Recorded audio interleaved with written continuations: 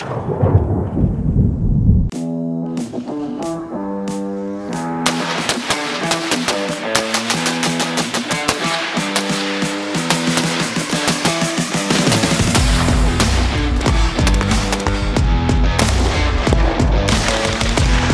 everybody, Aaron Cowan, Sage Dynamics, and this is the HUXWRX 30 caliber HXQD TI suppressor. If you've already recognized this, it's because uh, HUXWRX used to be called OSS suppressors. They've done a name change for their particular reasons. This is the generation two of their very well performing uh, 30 cal suppressor. This one incorporates the flash hiding end cap, which they had already incorporated into their 556 offering uh, suppressors.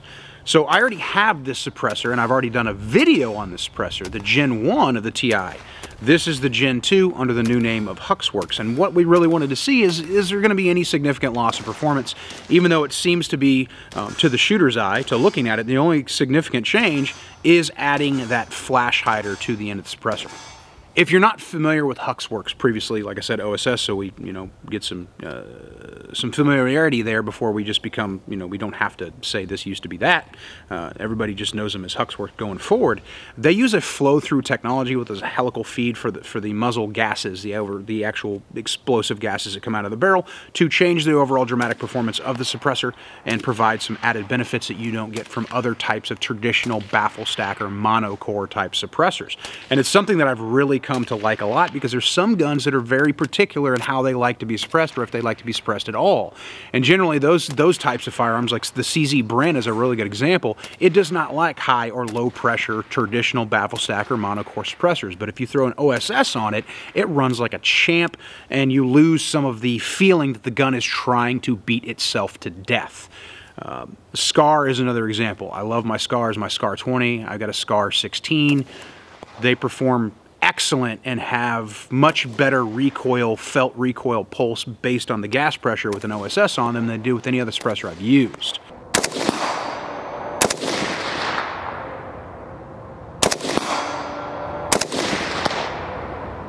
So even though this isn't a dramatic change, it's not a dramatic upgrade from the previous generation, I'm gonna go ahead and do a 2,000 round review process on it because I figured, you know what, I'm gonna shoot 2,000 rounds anyway at some point. So why don't I just do it with the suppressor on there and make sure I film it so I can give you guys a video in the latest version and also basically introducing you uh, to one of the first cans that they're producing as HUXWRX. And I really hope I'm pronouncing that correctly.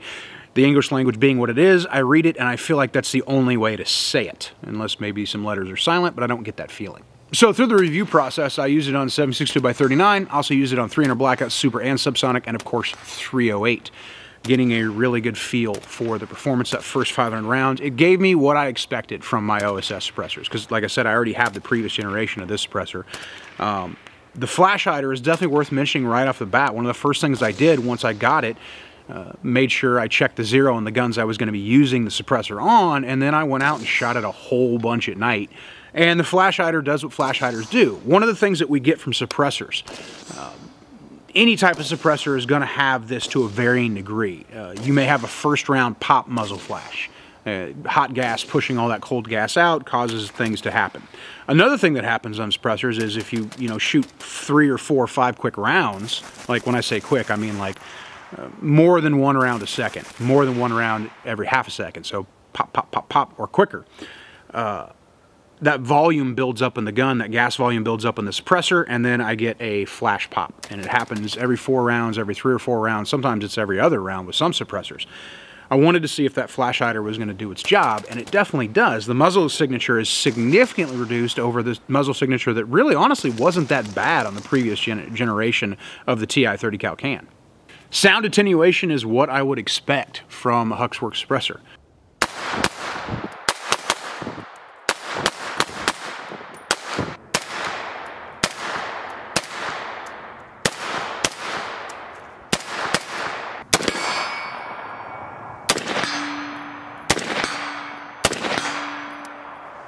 Some may feel that because it's a departure from traditional suppressor design that it's going to dramatically change the way the suppressor sounds. And of course, opinions are a thing.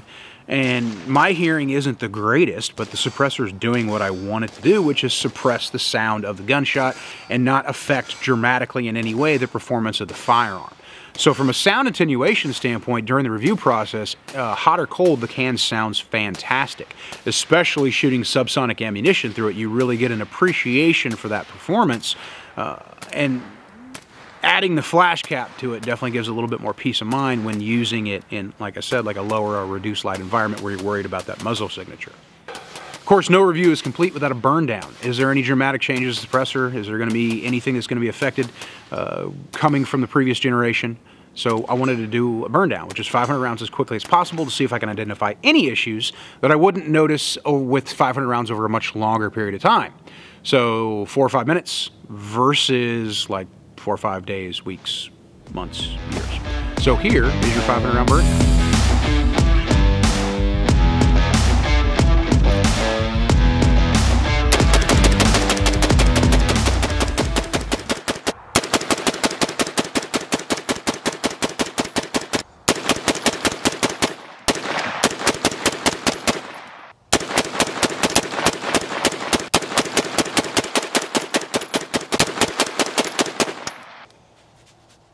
Hee.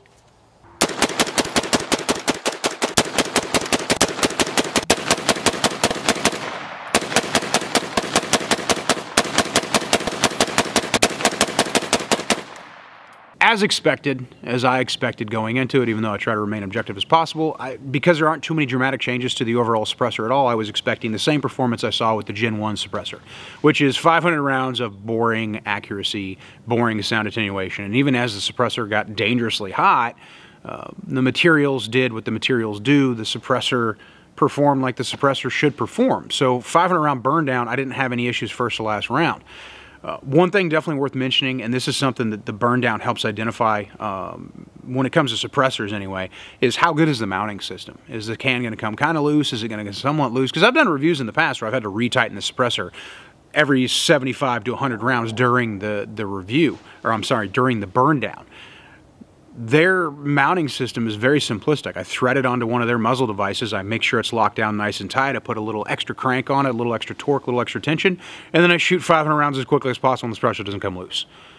That's kind of a testament to their mounting system. Uh, also, I can then let that gun cool down. I can go home, throw it in the safe, forget about it for a week until I go to the range again, and the suppressor comes right off you can't really ask for more than that in a very simplistic, very simplistically designed interface, which is basically just screwing one thing onto another thing without adding excess parts. There are advantages to other types of ratcheting type QD systems and things like that based on the pressure relationship and the suppressor.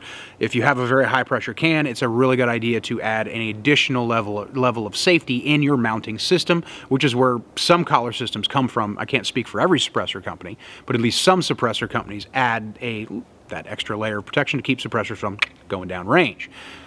With the OSS flow-through system, you don't really have to worry about that, and I really appreciate it. Then I just worked through another thousand rounds. Uh, not much to say in that regard. On the various firearms that I used it on, subsonic, supersonic ammunition, the sound attenuation stayed good, the performance stayed good, the mounting stayed good, and the flash hiding cap hides flash. So there are some, I guess, boring, reliable aspects to that. I, I feel like and you're starting to see it, a lot of other suppressor companies are starting to pursue similar avenues of performance. So while when OSS first came out and now they've become HUXWRX, people would look at flow-through type design and they didn't trust it, as they shouldn't, because you should verify something before you trust it anyway. But they just felt like, well, you know, it's a gimmick or you're just trying to be different to stand out. Uh, but now you're starting to see other suppressor companies quietly introduce their own versions of very similar performance. So there must be something to this flow-through system. That doesn't mean there's anything wrong with traditional baffle designs or, or monocores, but that also means that there's something to this system if other suppressor companies have noticed a demand for it, be it from military or be it from the open market, the civilian market, the citizen market, to say, hey, I'd like this suppressor. I wish you, I, well, I like the way this suppressor works. I wish you guys made one because I like your brand. So you're starting to see that as well. But speaking just for the HXQDTI, uh, this is just a, a, another good, it's not a needless improvement. Uh, it definitely adds a little extra degree of peace of mind when it comes to, to, to, signature reduction, while it maintains the overall performance that we had with the previous generation of the, uh, the HX QD. Um, I'm excited to see where they're going to go from here with, with suppressor design, but I feel like it's probably going to be small incremental changes based on years of experience and feedback from the shooting community, which is kind of a good way to do things. If you're doing something right, there's no real necessarily necessary need to fix it, except for, like I said, small little incremental uh, adjustments in, in performance mounting. I noticed that they've, they've definitely released more muzzle devices recently, different profiles of muzzle devices, and I appreciate that. I do like their muzzle devices, but hey, there's room for improvement. Go ahead and improve it. There was room for improvement on the previous generation of the suppressor, so they improved it, and all they really did was add that that that uh, flash hider. But it's awesome, and it's built in, and it's integral, and I don't have to worry about taking it off or losing it or mixing it up with other parts. Um, would I like to see changeable end caps in the future? That'd be cool. But we're just talking about this suppressor in regards to did they do anything dramatically different? Do you need to replace your Gen 1? Absolutely not. But if you don't have an OSS, this is definitely the one to get if you're looking for a 30 cal suppressor. Uh, they make a bunch of different suppressors and a bunch of different sizes and calibers and materials, so definitely check that out. But if you're looking for a really high quality 30 cal suppressor and you worry about you have one of those guns that is a little bit finicky when it comes to suppressor pressure and performance, OSS will solve the ailment on most of the guns, at least in my experience, that are out there that are picky about the pressure suppress the pressure type of pressure the suppressor generates during the cycle of fire.